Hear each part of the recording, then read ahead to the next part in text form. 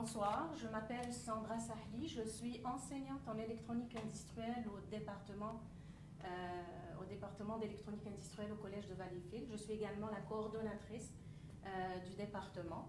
Euh, donc, des métiers d'avenir et des professions d'avenir, il y en a. Ce ne sont pas forcément les plus connus. Donc, vous allez en découvrir un avec nous aujourd'hui.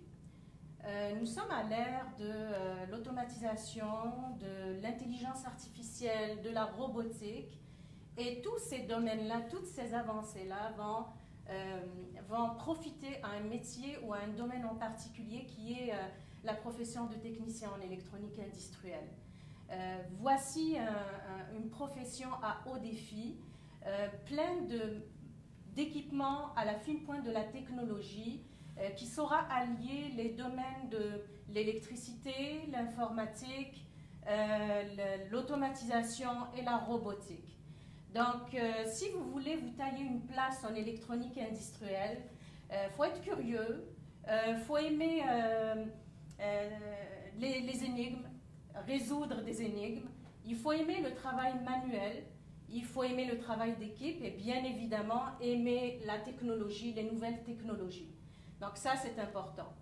Euh, le technicien en électronique industrielle, je vous dirais qu'il euh, collabore avec différents corps de métiers, euh, électricien, informaticien, ingénieur ou autre. Donc, savoir bien communiquer, savoir bien transmettre l'information est important. Donc, l'information doit être claire et juste. Le domaine et la profession d'électronique industrielle s'adressent autant aux garçons qu'aux filles. Euh, contrairement à ce qu'on peut penser, euh, la profession de technicien d'électronique industrielle peut être très valorisante et euh, très épanouissante pour une fille également. Donc une fille peut, peut également s'épanouir et se réaliser dans ce métier-là tout autant qu'un garçon. Donc ça, c'est, euh, il faut le dire parce qu'on a des, euh, euh, des, des, préjugés, si vous voulez, par rapport à, cette, à ce métier-là et à cette profession. Donc si vous voulez être technicien en électronique industrielle, vous devez suivre un programme de trois ans, donc c'est un DEC. vous inscrire au programme de technologie de l'électronique industrielle. les prérequis, donc vous devez avoir un diplôme de secondaire 5. Les prérequis sont euh, euh, TS de 4, euh, CST de 5, SN de 4 ou alors pour les plus anciens, Math 436. En sciences physiques, c'est SE de 4 et puis STE de 4. Et pour les plus anciens également, sciences physiques 436. Le salaire moyen d'un technicien en électronique industrielle, donc ça, j'imagine que vous voulez le savoir, c'est environ 27 dollars de l'heure. Par contre, euh, ça peut évoluer, bien sûr, suivant les qualifications et le secteur d'activité dans lequel on se trouve. Euh, ce qu'il faut savoir, c'est que l'industrie manque cruellement de techniciens en électronique industrielle, euh, d'où la nécessité d'en former énormément. Nous avons des organismes qui, euh, euh, euh, encouragent les étudiants qui sont inscrits à ce programme-là en attribuant des bourses pouvant aller jusqu'à 3 000 dollars. Donc, je donne l'exemple de la bourse CPMT. si vous voulez en savoir davantage sur ce programme-là, dans un premier temps, on va faire la rencontre de trois de nos étudiants. Donc, c'est des étudiants qui sont inscrits au programme, qui vont vous dire et qui vont vous expliquer qu'est-ce qui les a amenés dans ce domaine-là. Suite à ça, nous irons faire la visite du département où vous découvrirez les trois axes d'orientation de notre programme qui sont l'électricité, l'automatisme et la robotique et finalement euh, l'instrumentation et contrôle. À la toute fin, vous irez à la rencontre d'anciens étudiants du programme qui sont actuellement sur le marché du travail et qui vont pouvoir partager leurs expériences avec vous. Euh, si euh, jamais vous avez des questions, à tout moment, vous pouvez nous interrompre. Euh, donc, sans plus tarder, je laisse la parole à Gabriel, David et Chanel.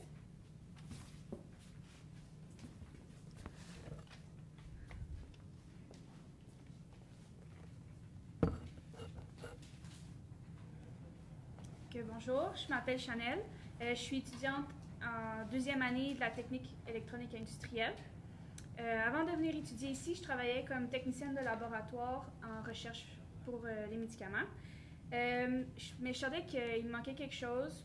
Puis il y a un matin où j'étais chez une de mes amies où j'ai vu son copain qui travaillait. Euh, il m'a expliqué qu'est-ce qu'il était en train de faire, c'était quoi le programme qui, euh, sur lequel il était en train de travailler, combien, comment ça fonctionnait aussi, euh, c'était quoi son emploi, qu'est-ce qu'il faisait en général dans ses journées. Puis j'ai pas mal, suis pas mal tombée en amour avec le, le, programme, ben, ce qu'il était en train de faire. Fait que j'ai décidé que je faisais un retour aux études à temps plein. Puis je suis venue ici en électronique industrielle. Bonjour, je me présente, je m'appelle euh, Gabriel. Je suis euh, étudiant en deuxième année d'électronique industrielle. Euh, moi, quand je suis sorti du secondaire, je ne savais pas quoi faire. Donc, j'ai pris mon risque et je me suis aventuré dans une technique. puis, j'ai commencé en informatique. Puis, après un an, par manque d'intérêt, j'ai juste changé de technique. Puis, je me suis risqué en électronique industrielle. Je pense que c'est la meilleure décision que, que j'ai pu faire à ce jour. Euh, j'ai toujours eu l'opinion que l'électricité est un domaine fondamental dans ce monde. Euh, puis, quête, ma quête de savoir, euh, propulsée par ma curiosité sans fin et ma fascination pour ces petits électrons, m'a tiré dans cette technique. De plus, c'est un domaine très recherché dans les industries, sans oublier que le taux de placement est très élevé.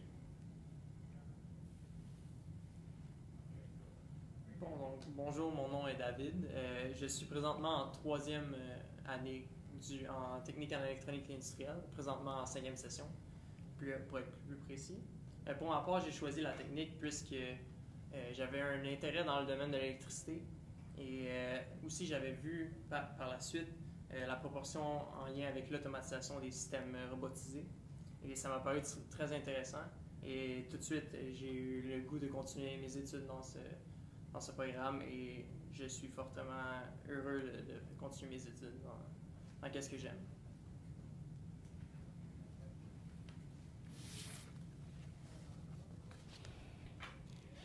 Donc bonjour, je me présente. Mon nom c'est Fernanda. Je suis en troisième, dans deuxième euh, année de la technique.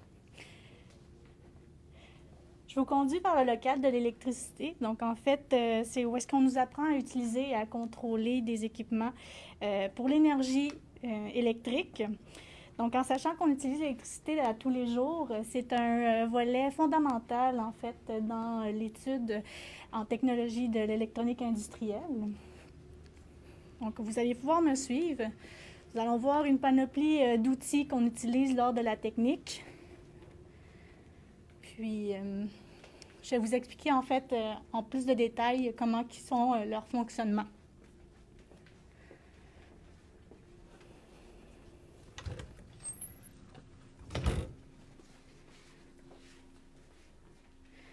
Donc en fait, on se dirige vers le local euh, D130 ici.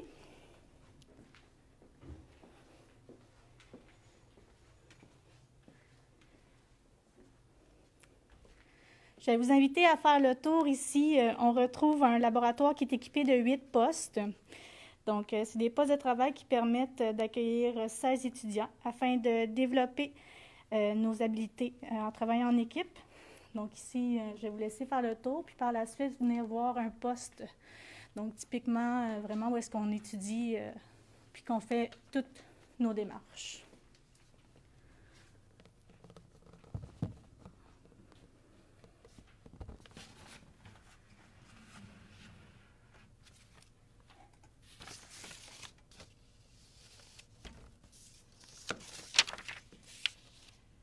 Donc, en fait, comme je vous expliquais ici, le montage qui est effectué, on utilise plusieurs outils.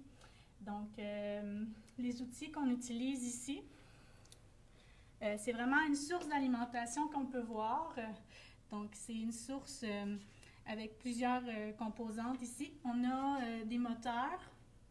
On a également ici des charges, des transformateurs, puis ici un système de données d'acquisition. Donc, en fait, il nous permet vraiment euh, d'évaluer tout ce qui est euh, en fonction.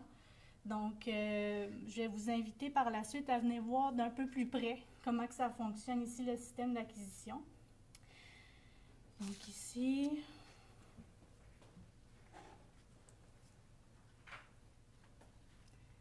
Donc, un peu plus près, on peut voir ici vraiment, on va voir quand, il y a du courant, ça va augmenter.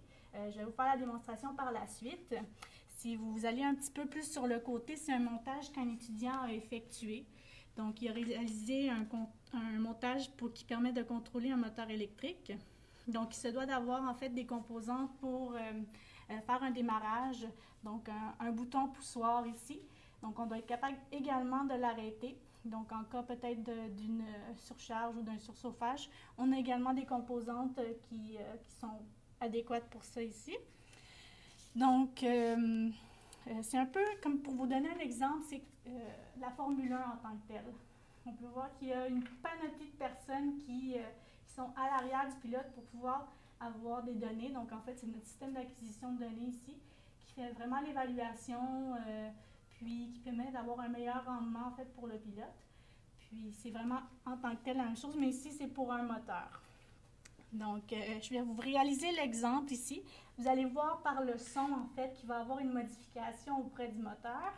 Puis, on va le voir également auprès euh, du, euh, du, système ici que je vais vous présenter un peu plus rapidement. Donc, je vais partir ici, puis euh, je vais vous montrer en tant que tel avec, il faut mettre en fait nos lunettes. Donc, on part ça ici.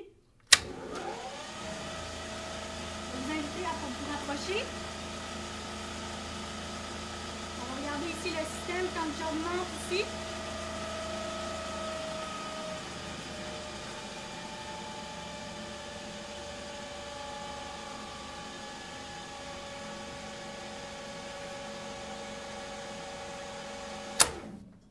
Donc, on a vu en fait que le montage a fait l'arrêt parce qu'il y a eu un courant trop intense.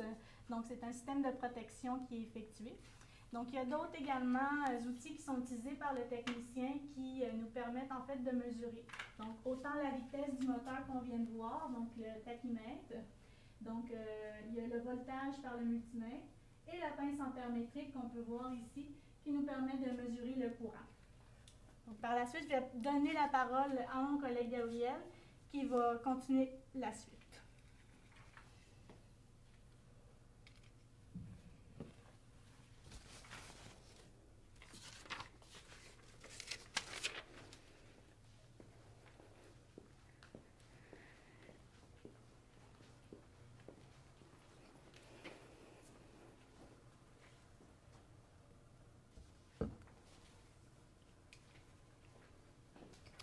Rebonjour une autre fois, que je vais vous présenter ici un autre contrôle de moteur, euh, comme en fait Fernanda vient juste de vous présenter. Je vais juste en fait vous, euh, vous le montrer, que je vais vous, je vais vous demander après de, en fait, vous approcher. Ça, c'est un, euh, un projet qui a été réalisé par des étudiants de troisième année finissant. Je vais vous le montrer de suite. On peut euh, remarquer dans ce, panneau, en fait, qu'il y a des dispositifs euh, de contrôle, de commande, ainsi que des dispositifs de protection. Mais avant même la réalisation, euh, avant même la réalisation de ce projet par un étudiant, il a fallu qu'il passe par plusieurs étapes. Quand, il a fallu que l'étudiant conceptualise en fait un plan comme celui-ci. Ça, c'est juste une partie du plan. Il a fallu qu'il conceptualise ce plan.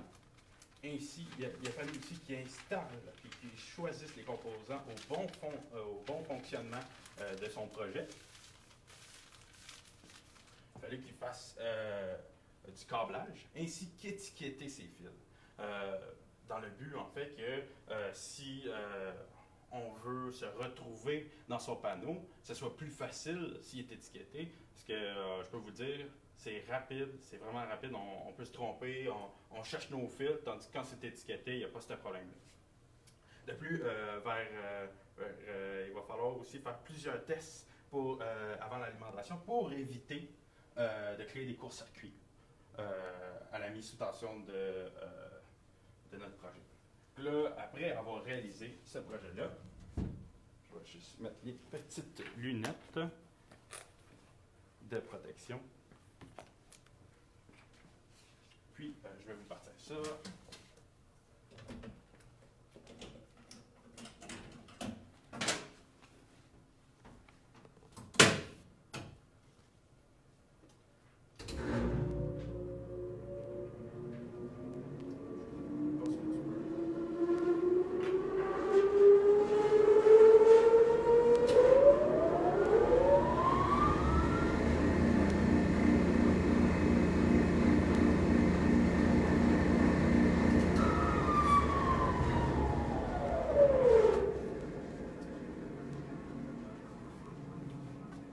Voici euh, les deux euh, exemples en fait, qui permettent en fait, de, connaître davantage ce qu'un technicien en électronique industrielle euh, fait. Puis en fait, je, vous dis que si vraiment vous aimez résoudre des problèmes avec des solutions innovantes, je vous conseille de rejoindre le groupe d'électronique industrielle au Collège de Valleyfield. Que je vais vous laisser à Fernanda. Donc, moi, je vais vous euh, présenter en fait maintenant un local où est-ce qu'on effectue euh, toutes euh, des manualités. Donc, en fait, euh, tout ce qui est des travaux manuels, du perçage, du taraudage, du soudage, les installations de montage. Puis, je vais vous permettre en fait de regarder comment qu'on qu'on effectue le tout.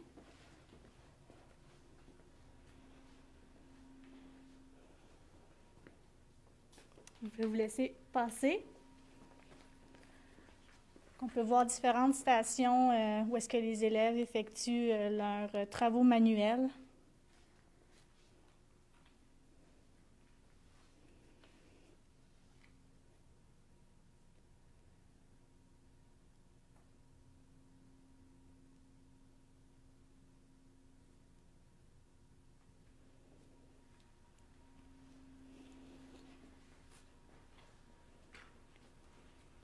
Maintenant, je vais, vous je vais passer la parole à ma collègue euh, Chanel qui va vous expliquer en fait l'automatisation euh, robotique.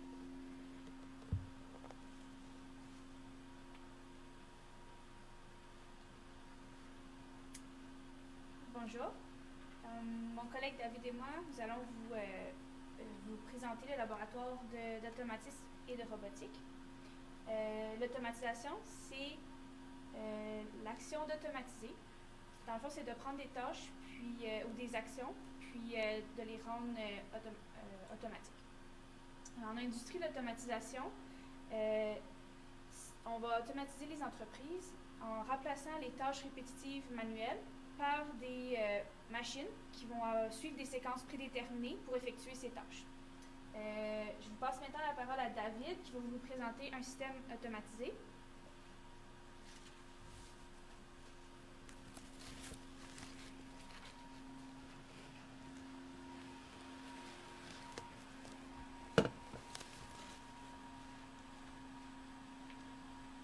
Bon, donc bonjour, aujourd'hui je vais vous présenter euh, le système de production LabVolt. Le système de production LabVolt est un système euh, automatisé euh, servant à distribuer des gommes en fonction des recettes inscrites sur les boîtes. Donc, cette station comprend plusieurs équipements intelligents. Nous avons principalement le, PLC, qui est un automate programmable. Et cet, cet automate programmable est le cerveau du système. Ensuite, nous avons une interface homme-machine, juste ici, HMI, pour les plus familiers, euh, servant à euh, donner les informations importantes en lien avec le, système. Nous avons aussi un lecteur de code à bord euh, afin de, lire les codes inscrits sur les boîtes. Et nous avons un, un- une caméra servant de contrôle de qualité afin de, vérifier le produit. Et juste ici, nous avons des cylindres servant à positionner les boîtes en fonction du, triage et de la recette. Donc, je vais partir la démonstration. Ben, euh, juste avant, nous avons ici un cylindre qui va euh, nous permettre de, de distribuer des boîtes. Ensuite, nous avons un, un distributeur de billes en fonction de, la lecture du code par le scanner qui est juste ici. Nous avons, comme j'ai expliqué ici, la caméra afin de, voir la qualité du produit qui est juste ici. Et pour terminer, si la recette est conforme avec euh, la lecture de la boîte, celle-ci est stockée euh, sur euh, un plan juste ici. Et si elle est rejetée, et dans le fond la recette ne conforme pas à ce qui est demandé, elle est rejetée juste ici. Donc maintenant, je vais vous montrer une petite démonstration.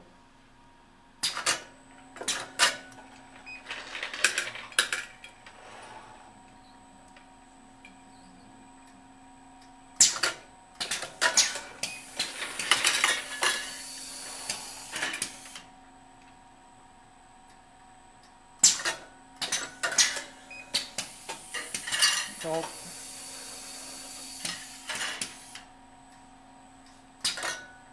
Comme vous pouvez voir, on travaille équipements de la fine pointe de la technologie et nous apprenons à travailler de la première à la sixième session. Donc maintenant, je vais euh, laisser Chanel parler de, du bois robotisé. Dans le fond, après que les bois sont stockés, ils sont transmis à un, un robotisé afin de les placer et les stocker euh, sur des palettes. Et On va aller rejoindre Chanel qui va nous dire euh, la suite du voyage de ces boîtes-là.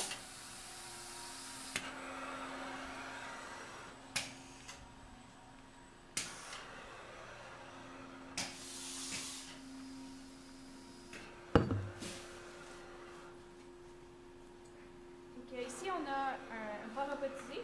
C'est un exemple d'automatisation qui servirait à la palettisation. Dans le fond, euh, les euh, boîtes de gomme qui ont été euh, empaquetées plus tôt, ils vont être emmenés ici par des convoyeurs.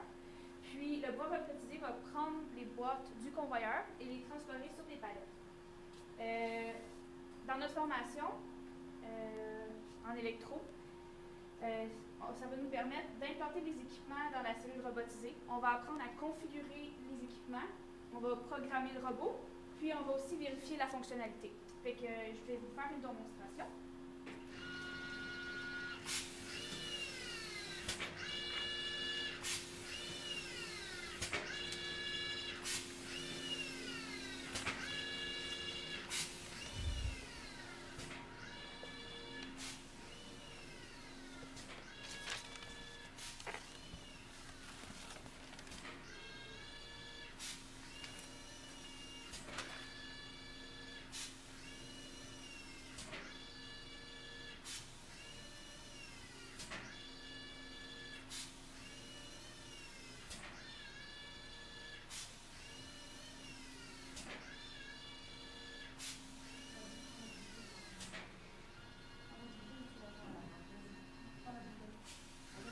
On fait pas ça?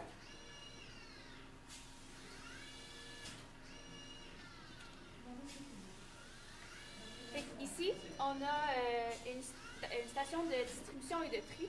On va, euh, cette station-là prend les pocs de couleurs, elle va les transférer sur la station de tri, puis il va y avoir un- une vérification de la couleur pour l'envoyer dans la bonne, euh, dans la, la, bonne zone en fonction de la couleur. Euh, dans notre technique, en tant qu'étudiant, notre rôle, ça va être d'installer les composantes, de vérifier les capteurs puis les actionnaires. Fait comme capteurs, ce qu'on a, c'est des capteurs de couleur. On va avoir des capteurs de présence. Fait que s'il y a des rondelles de présentes ici ou s'ils sont présentes ici. Dans les actionnaires, on a un bras qui fait une rotation pour aller chercher la rondelle puis la porter. Puis on a aussi le convoyeur et euh, les bras qui vont distribuer en fonction de la couleur. Euh, on va aussi apprendre à programmer le PLC, qui est le cerveau de notre automatisme, puis on va vérifier la fonctionnalité du système au complet. Je vais vous faire euh, une démonstration.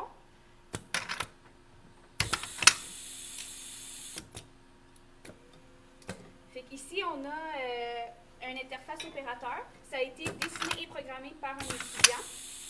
Euh, ça nous permet de voir en temps réel ce qui se passe sur l'automatisme. Fait qu'on voit que ça représente vraiment ce qui se produit.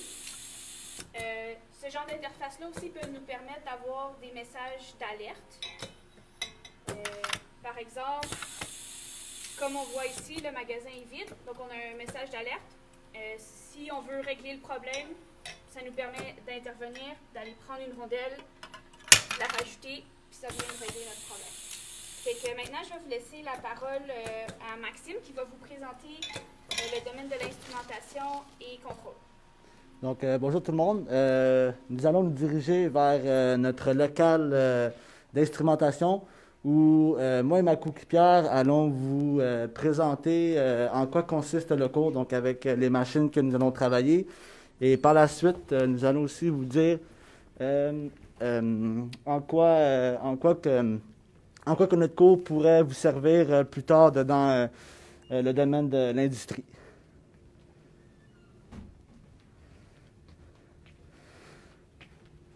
Donc, euh, je vais vous passer euh, ma coéquipière euh, Marie-Laure qui vous présentera le procédé d'instrumentation.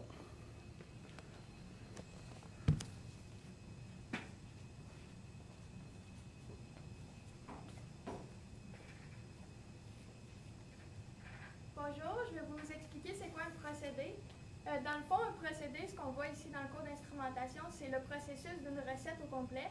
Par exemple, aujourd'hui, on a décidé de vous présenter la recette d'un Canada Dry. Comme vous pouvez voir ici, le procédé, ça serait ici les ingrédients. On a premièrement des, euh, des, réservoirs qui contiennent tous les ingrédients, comme l'eau, le sucre et autres, qui vont ensuite se déverser dans un réservoir qui va peser les ingrédients pour être sûr qu'on a la bonne quantité, qui va se déverser dans un mélangeur pour les mélanger, qui ensuite va être poussé par une pompe dans un autre réservoir pour les gazifier, puis ensuite être encapsulé. Euh, nous, ce qu'on voit principalement dans le cours, c'est un sous-procédé. Ça veut dire qu'on va s'attarder à un seul ingrédient qui serait l'eau.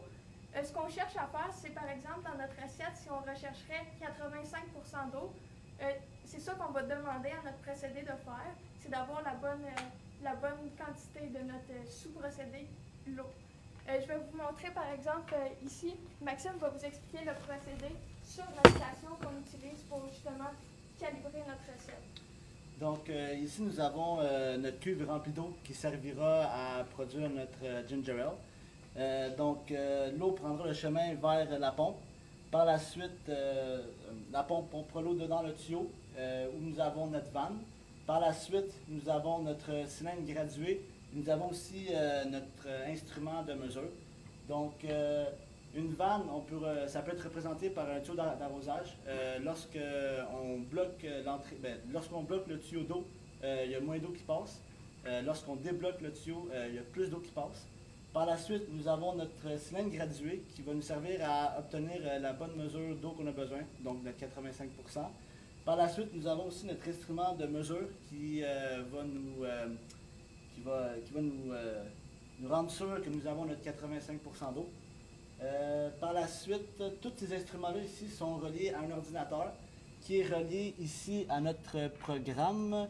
Euh, donc, euh, nous, ben, moi, moi et ma coéquipière avons fait un programme qui va contrôler automatiquement le niveau d'eau que nous avons besoin, donc notre 85% Par la suite, nous avons aussi décidé de vous faire un petit graphique pour mieux voir, où nous avons une courbe rose qui représentera le niveau de l'eau. Et nous avons aussi une courbe noire qui représentera euh, l'ouverture de notre euh, vanne. Euh, donc, si je parle le procédé, il est normal aussi que l'eau dépasse notre niveau, notre 85%, puisque c'est un procédé qui doit s'adapter. Donc, le niveau s'adaptera par la suite.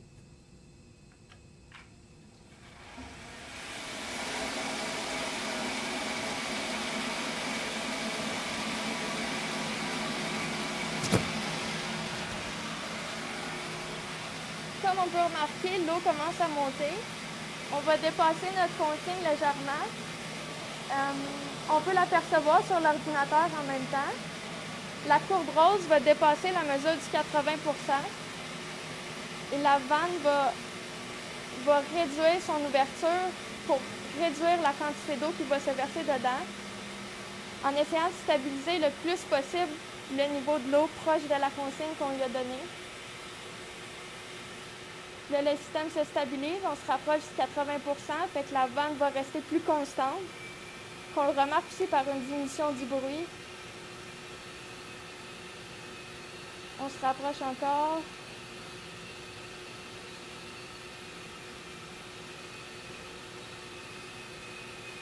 qu'on serait pas mal proche d'un 80% qu'on recherchait pour notre recette.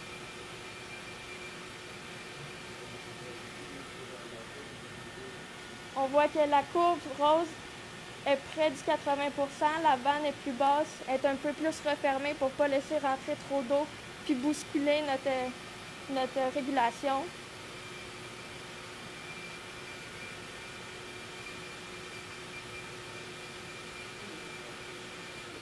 C'était un exemple de, procédé qu'on voit dans le cours d'instrumentation.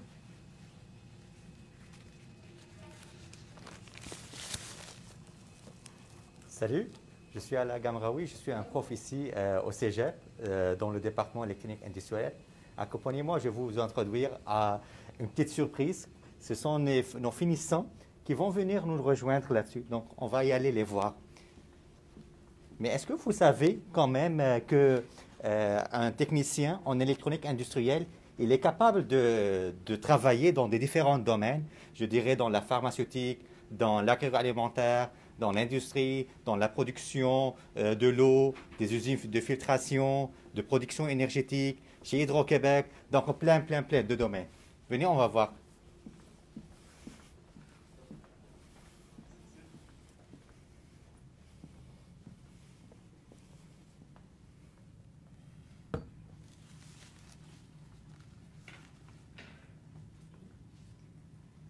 Alors moi, j'aimerais remercier euh, mes anciens étudiants, mes chers anciens étudiants, que j'aime d'amour, d'accord? Je les remercie d'avoir répondu à l'appel. Ils sont venus, euh, ils vont partager avec nous leurs expériences et surtout avec vous. Donc, euh, je les remercie en direct, sincèrement, et je leur cède la parole.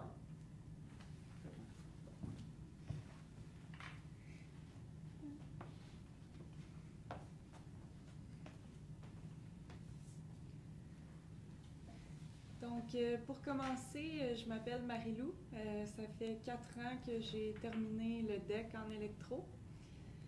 je vais commencer par vous parler du programme ATE, qui est en fait un programme alternance travail-études, ce qui nous permet de prendre l'expérience pendant le, pendant le DEC. En fait, à chaque fois que tu fais des cours de deux sessions, tu peux l'été, tu peux faire un stage, puis euh, ça te permet de prendre l'expérience pour après, puis en même temps de ramasser des sous parce que c'est des stages rémunérés. Donc ça, c'est quelque chose qui a été vraiment... Euh, qui m'a beaucoup aidé à trouver de l'emploi après, malgré le fait que il, tellement de... Manque tellement de main-d'œuvre en électronique industrielle qu'ensuite, c'est certain que vous allez trouver un emploi. Donc, euh, moi, mon parcours rapidement, euh, je suis allée travailler un an euh, comme technicienne en électronique industrielle. J'ai fait beaucoup. mon travail a été assez réparti, je dirais. J'ai fait autant de la conception que de la mise en service en chantier, de l'automatisme, électricité. Je travaillais avec d'autres techniciens, avec des électriciens, des ingénieurs. Fait que là, j'ai beaucoup appris. Puis ensuite, j'ai décidé de continuer à faire mon bac à l'université en ingénierie euh, électrique. Puis euh, là aussi, j'avais des stages, puis le DEC m'a beaucoup aidé parce que j'avais une expérience que ceux qui font un cours préuniversitaire n'avaient pas. Donc, dans mon CV, ça a vraiment aidé. Mais euh, en fait, c'est ça, je vais, tout le monde doit parler, fait que je vais laisser la parole, mais je vous dirais que c'est vraiment un domaine multitâche, varié, qui a vraiment une belle expérience à acquérir. Puis surtout, c'est quelque chose que. Euh, un métier que tout le monde a besoin. Autant que vous allez travailler avec d'autres techniciens, avec des électriciens, des ingénieurs, le technicien, c'est vraiment lui que tout le monde a besoin. Fait que c'est vraiment un métier euh, gratifiant et plaisant à faire. C'est gratifiant, je pense, parce que quand c'est le, quand c'est le technicien qui réussit à trouver le problème puis réussit à régler la, machine, puis que la machine repart par la suite, ben, je pense que c'est ça qui fait que c'est gratifiant, puis que c'est moi qui ai réussi à réparer la machine, puis c'est à cause de moi que l'usine repart. Je pense que c'est aussi gratifiant sur les, mots de Marilou dans ce sens-là. Donc, pour ma part, moi, je m'appelle Vincent, je suis de la cohorte aussi à Marilou.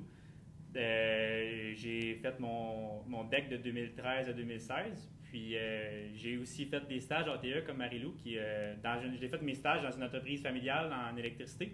Donc, pour ma part, le cours d'électricité était pas mal, euh, important pour moi parce que j'apprenais des, choses dans le cours que je pouvais ensuite appliquer dans euh, les stages que j'ai eus.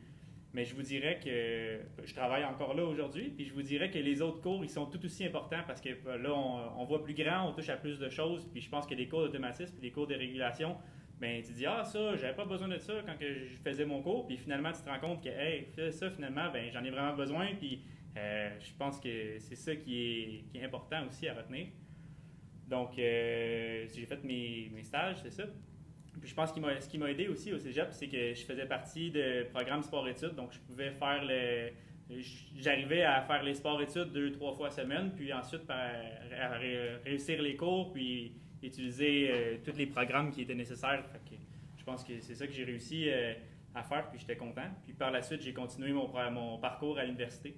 Donc, j'ai terminé mes études en avril 2020. Je suis euh, candidat à la profession d'ingénieur depuis euh, avril.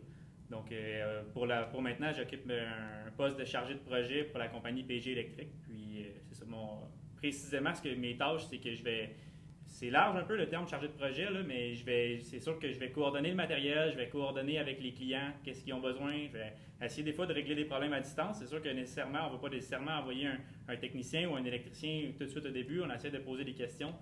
Donc, c'est pour le moment, mon métier, c'est ça. Puis j'aime, bien ça, je vais continuer, je vais continuer là-dedans. Puis je vais laisser la parole.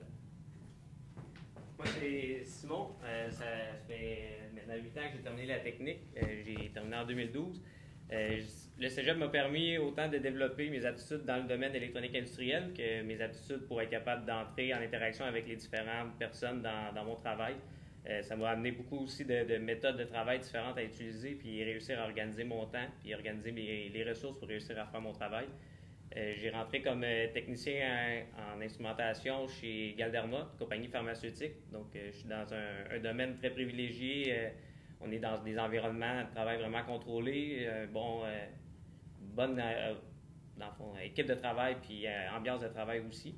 c'est grâce au cégep si j'ai réussi à trouver cet emploi-là parce qu'on avait les stages. Donc, j'ai pas fait mon stage là, mais il y a eu une opportunité d'emploi. Puis les, profs, dans le fond de la cohorte, m'ont fortement recommandé de donner mon nom puis de pouvoir rentrer là. Donc, ça fait maintenant 8 ans que je suis là-bas. Euh, j'ai fait autant de l'automatisation, de l'électricité, de l'instrumentation dans ce, dans ce domaine-là. J'ai vu beaucoup de choses que je n'avais pas nécessairement touchées euh, au cégep, mais j'avais les, les, aptitudes pour réussir à travailler à l'intérieur de ce domaine-là puis réussir à, à m'épanouir là-dedans. J'ai fait sept ans comme technicien, puis maintenant, ben, je suis rendu superviseur dans, dans l'équipe de, de, maintenance. Fait que ça m'a permis aussi de, de, monter, en fait, de cette optique-là. Je n'ai pas été euh, à l'université, rien de, de ce niveau-là, mais j'ai monté en poste de, gestionnaire euh, d'une autre façon. c'est vraiment grâce à ma technique, grâce au cégep, que j'ai réussi à, aller à, ce niveau-là, à ce poste-là. Peut-être un. Ouais, je peux, ajouter quelque chose aussi. Je pense que ce qui est très fun aussi avec la technique, c'est la proximité qu'on a eue avec. Euh, tu sais, pendant trois ans, tu vas suivre les mêmes personnes, puis c'est les mêmes personnes, ben, à la fin, la, la technique, c'est rendu tes amis, c'est rendu tes, tes chums que tu vas appeler à à chaque jour que tu vas vraiment tu vas fréquenter souvent. Donc, je pense que c'est ça aussi. Puis, la relation qu'on va avoir avec les enseignants, les professeurs, je pense que c'est quelque chose d'important aussi. C'est tes professeurs vont toujours être disponibles pour toi. Puis, tu vas avoir une question, tu vas aller voir n'importe quel professeur du département. Puis, ils vont être là pour t'aider. Ils vont être là pour euh, S'ils ne sont pas capables de t'aider, ils vont être là pour te, donner des ressources. Puis, être capable de, de, te montrer dans quelle direction aller. Je pense que pense que c'est ça aussi qui est, vraiment le fun de la technique, c'est que les professeurs sont disponibles et ils sont, très intéressants. Tu veux rajouter un mot? Ah, ben, c'est pas mal ça, mais sinon, euh, c'est ça, la technique, c'est vraiment euh, un endroit où est-ce que tu peux euh, te faire des amis, mais aussi, c'est de loin. Honnêtement, ça fait trois ans que je suis à l'ETS, mais à l'université, puis j'ai appris énormément plus dans mes trois ans de cégep que j'ai appris à l'université. Pas parce que c'est pas bon l'université, mais juste parce que c'est vraiment concret. Les professeurs sont vraiment là pour t'aider. Puis, euh, t'en ressors avec beaucoup de ressources, puis surtout euh, plein de portes ouvertes. Je vous remercie encore une fois beaucoup. Moi, je vais donner le, le, le mot de la fin, disons. Donc, euh, vous avez Là, vous avez écouté euh, pas mal d'étudiants donc, vous, vous, avez compris que le travail d'un technicien en électronique industrielle consiste surtout à s'assurer que le système sur lequel il travaille va bien. Ça, c'est la première des choses. Donc, faire de la maintenance préventive, s'assurer que tout va bien. Après ça, c'est sûr que s'il y a un trouble, s'il y a une panne, il faut que le technicien en électronique industrielle puisse diagnostiquer c'est quoi le problème et poser des gestes pour réparer. Donc, réparer, remplacer, faire de l'installation. Et puis, le technicien peut aussi euh, participer à la conception ou à l'amélioration d'un système euh, qui soit automatisé ou qui soit dans la robotique ou qui soit dans le contrôle, il est capable d'aller euh, euh, aider à la conception, à l'amélioration avec la collaboration bien sûr de, de l'ingénieur. Donc ça, ça résume un petit peu ce que fait un technicien en électronique industrielle. Donc si on vous a aidé à asseoir un choix, c'est très bien. si on vous a aidé à choisir une carrière, c'est parfait aussi. Maintenant, si vous hésitez, c'est-à-dire vous n'êtes pas sûr que c'est ça que vous voulez. Le collège offre euh, un programme qui s'appelle euh, Étudiants d'un jour, où vous pouvez venir au niveau du département, vous allez passer la journée avec nos étudiants dans les différents laboratoires. Et ça, ça va peut-être vous aider à choisir ou, euh, ou pas. Donc voilà, donc la balle est dans votre camp. la question n'est pas de savoir est-ce qu'il va y avoir du travail demain, parce qu'il y en aura, la question est de savoir est-ce qu'on aura assez de techniciens en électronique industrielle pour pouvoir combler le marché du travail? Donc sur ce, moi je vous dis bonsoir. Puis si vous avez des questions, on est là.